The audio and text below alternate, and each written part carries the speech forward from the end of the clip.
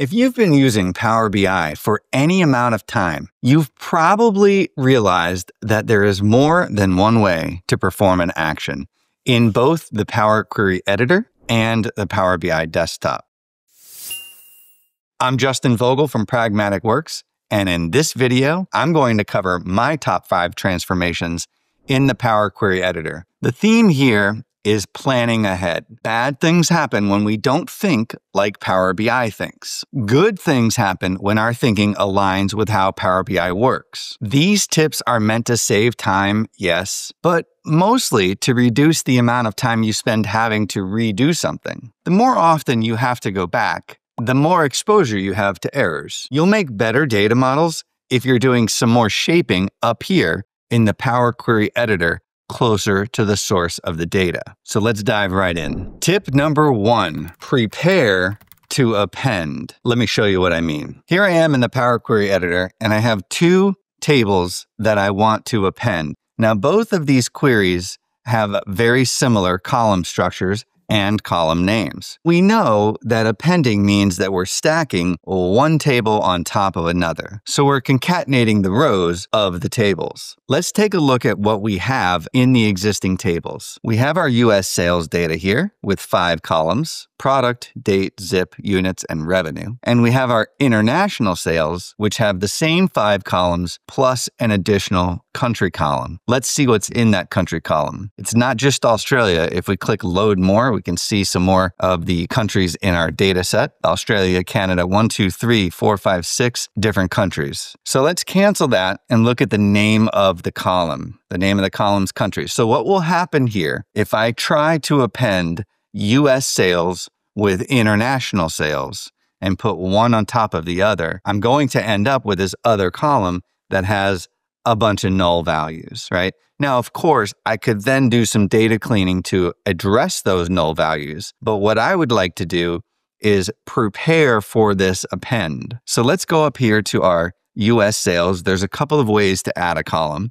I'm going to do a quick conditional column here on my US sales, and I'm going to call that column country, just like on my international sales. Before I go any further, let's investigate what easy conditional statement I could actually write. If I look at any of these columns and something in that column is greater than or equal to, so let's take units for example. If units is greater than or equal to one, let's say, then I could output USA. Let's see if that would work. Let's go to my units, load more, Let's see what's in this column. Here's what's in the column. Start there are no zeros and starting with one all the way through. It looks like there's some gaps, but ultimately everything is greater than one. So my idea is going to work here. My conditional column is going to be called country. And I'm going to say if the column name units has something greater than or equal to one, then I'm going to output USA.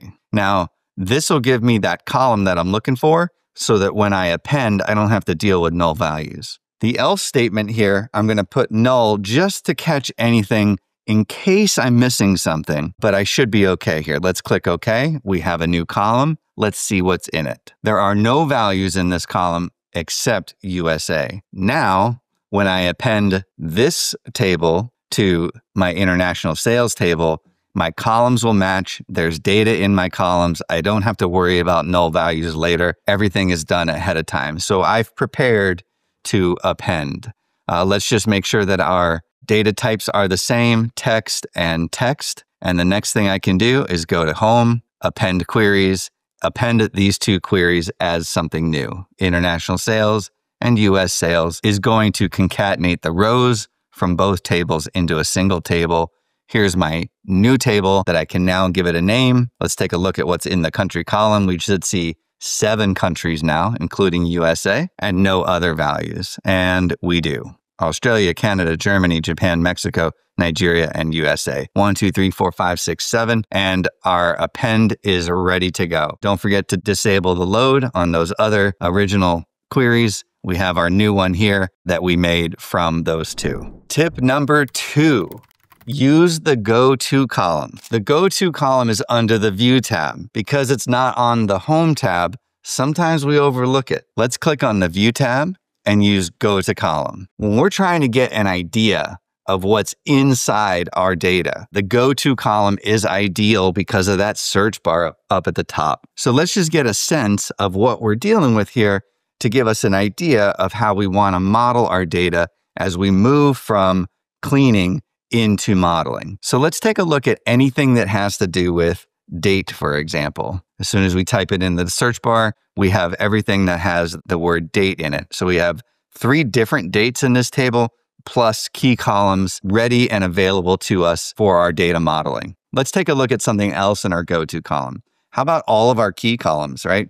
Anything that has the word key in it is now displayed, gives me a good idea of what I might use when I build out my data model. For example, I might have a sales territory key in a sales territory table. And that sales territory key will also remain here in my fact table. So using the go to column is a really good idea. It's just kind of hidden under that view tab and we need to remember it so that we can get a better idea what's in our data. Tip number three, we're back on the home tab in a place that's a little bit more familiar to a lot of us. We're going to use the choose columns button. The choose columns button on the home tab gives us a list of all of our columns and we still have a search bar here. The difference between this and go to column is that here we can select or deselect some of the columns that we want to keep or not keep. So go to column is a little bit safer. We just have to remember that it's under the view tab. This is the choose columns. Now, this this is great for when we actually want to start doing our modeling.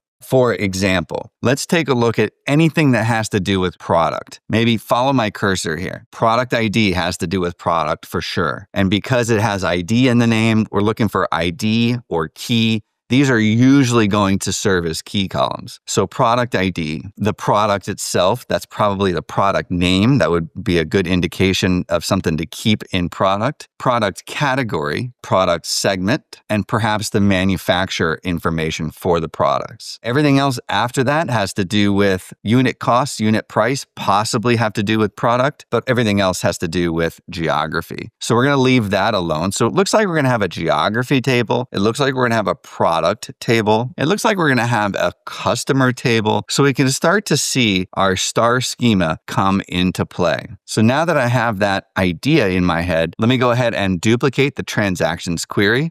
I'm going to rename it right away to product, and I'm going to use the choose columns feature again to check and uncheck. Now remember, we can always right click on a column and remove it or remove other columns. We could also multi select columns and remove other columns, but we become error prone. This way we have a list. Let's deselect everything and select product ID, product category segment, and we'll take that manufacturer information with us as well. So here we have the model coming into view but we're still in the Power Query Editor. So we click OK here, and we have our product table. Now, remember, I said we'd probably use product ID as that key column. So let's go to product ID, right click, and remove duplicates. And now we have one product ID. They're all unique values.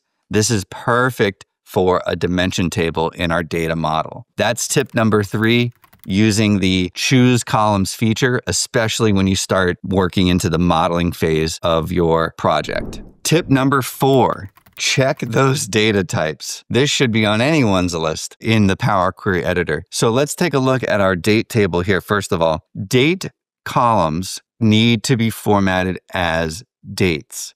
So this one here is formatted as a combination of text and whole number. What I need to do is click on that and select either date or date time. I'll go with date in this case. Now I've marked that as a date column. That data type as a date column is critical to the relationships that we make in the modeling phase. But let's talk a little bit about data types and how they could be important in other ways too, beyond the date column. Let's look at the year column, for example. Right now, the year column is whole number, right? Whole number, one, two, three, does a couple of things for us. It's better for us when we want to filter let's say between 2019 and 2023, we want to look at the COVID time period, for example. If that's the case, then we want to have filters here that are number filters so that we get this between option right here. If we do not have our year listed as a whole number, then we will not get this between filter. This between filter allows us to look at that range. Now, if we were to change it to text, that's fine. We'll add a new applied step here, but look at our filter options. We don't have the same options. We don't have the between option. So we have text filters, although fundamentally nothing has changed in our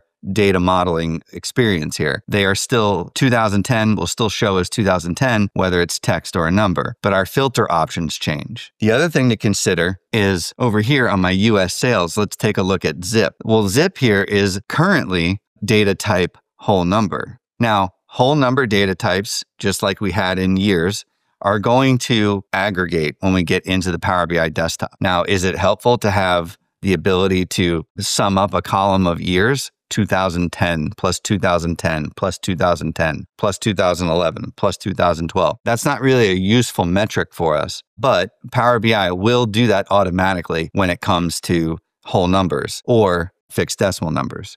So what we need to do is consider when do we want numbers to be text? Well, when it comes to zips, let's take a look. Right now, zip came in, the column itself came in as a whole number. And because it's a whole number, the leading zeros are being dropped. So as soon as I change it to text, the leading zeros are no longer dropped. So with zip being a whole number, what happens with a whole number column? We drop leading zeros. So if there is a leading zero to be had, we would need to change this to text data type. Sometimes numbers in a column need to stay formatted as numbers for our filtering purposes.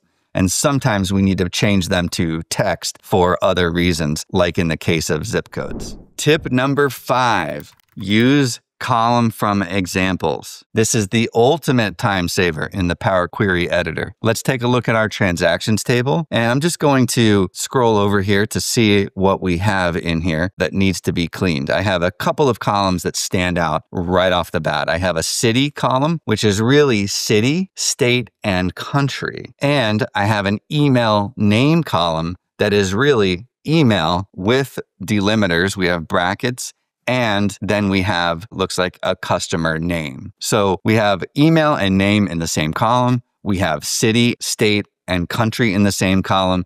And we also have this other column here for state. So we already have a column for state level analysis. But what if we want to look at just city and state together? We want to get that USA, that country name out of there. So let's go to select the column, although I'll show you how you don't have to. You can do from all columns, but I'm going to be very specific with Power BI and tell it to only use this selection. So the selected column is city, and I'm going to make a new column. I'm simply going to start typing in my preview column that I'm going to say this is Miami, comma FL, and that's it. Hit enter. Let's see if we were able to extract simply Miami and the state of Florida. So far, so good. Let's see. It looks like everything worked. Load more. Yes, it looks like everything made it into our new column. So what we can do is just simply rename this city state. And then once we extract the country name out of here, we will be able to get rid of that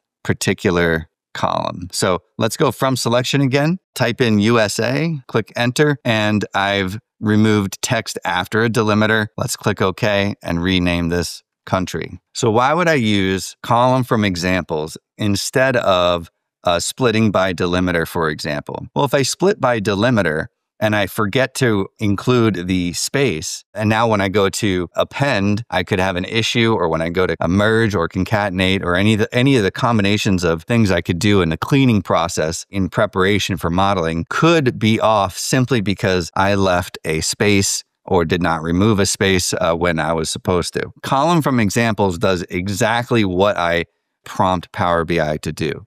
So now that I have both of those, I could get rid of city, this column here, because I've extracted what I want from it. And I still have the state column for state level analysis. I have city, state, together if I need that. And I have country level for country level analysis. One more thing I can do with column from examples is take a look at this email name. This is a good example of not missing those delimiters or not missing spaces in there. So let's go to column from examples. I'll go from selection and I'll just call this, let's say I make a last name. So now I've selected only the last name. I typed it in there. Power BI goes down every column and extrapolates that information over. So now I have a new column that I can name last name. All right. Now I could do the same for first name. I could do the same for email name. Let's click OK. Let's do another one for first name. And finally, we'll do one more to pull that email address out of there, especially with those delimiters. You can see I've got colons and I've got commas and I've got spaces and I've got parentheses. So now I'm going to extract one more column from this example. All I have to do is spend the time to carefully type one example in there. And I've got all the email addresses extracted by delimiters. So in this case, I've got no extra spaces. I've got no extra delimiters hanging out.